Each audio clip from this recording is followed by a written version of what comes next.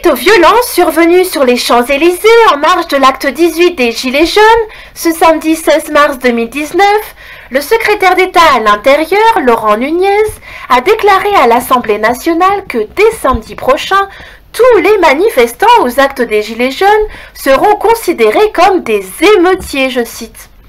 Il a également promis de disperser immédiatement les rassemblements, d'interpeller massivement en cas de besoin et dès les premiers attroupements.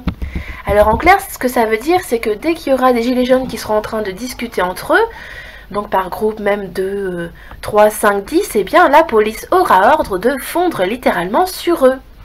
Le secrétaire d'État à l'Intérieur a en outre souligné que samedi dernier, je cite, il n'y avait pas 1500 casseurs pour toute la France, mais 10 000 casseurs.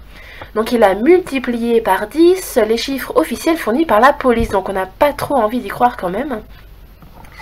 Ajoutant que l'ensemble des personnes sur la voie publique étaient animées de très mauvaises intentions et l'ont démontré très rapidement.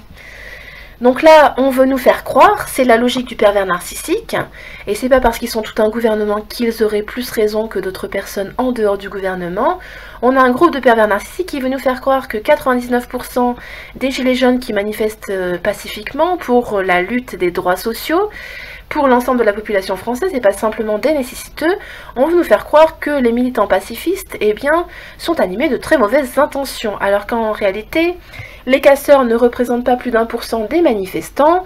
En très grande majorité, ce sont des black blocs qui sont euh, cagoulés, qui sont habillés tout en noir, donc parfois ils mettent un gilet jaune pour discréditer le mouvement. Il y a euh, de temps à autre quelques gilets jaunes effectivement qui cassent, euh, d'après les directs sur certaines chaînes alternatives comme RT et Spoutnik.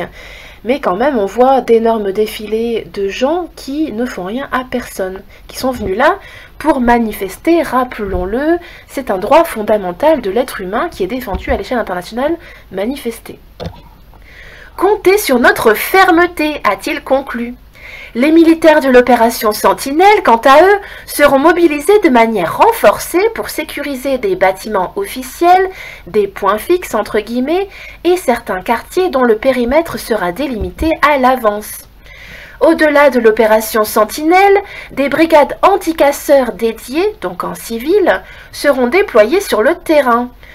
Des drones et des produits avec marquage indélébile permettant de tracer les casseurs vont également être mobilisés. Alors à quoi vont ressembler les moyens nouveaux promis lundi par l'exécutif pour faire face aux émeutiers en marge des rassemblements des Gilets jaunes? Parmi les mesures annoncées, il y a l'arrivée dans l'arsenal des forces de l'ordre de PMC, produits de marquage codé.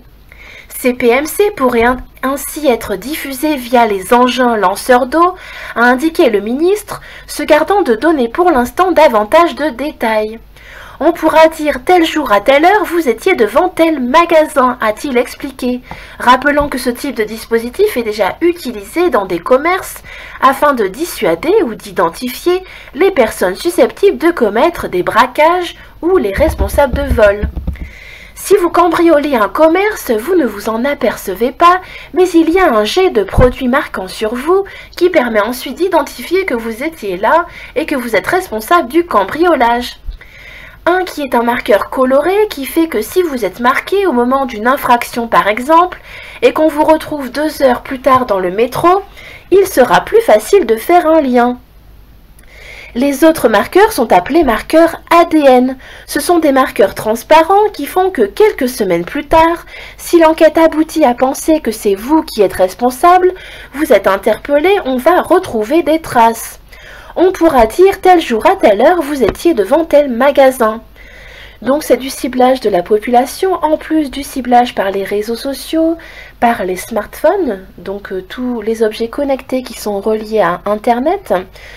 Nous avons également euh, toutes les cartes de fidélité ainsi que toutes les cartes à puce comme la carte bancaire, la carte vitale, euh, ainsi que tout élément euh, donc à émission, à radio-émission qui peut informer à tout moment où vous vous trouvez et avec qui.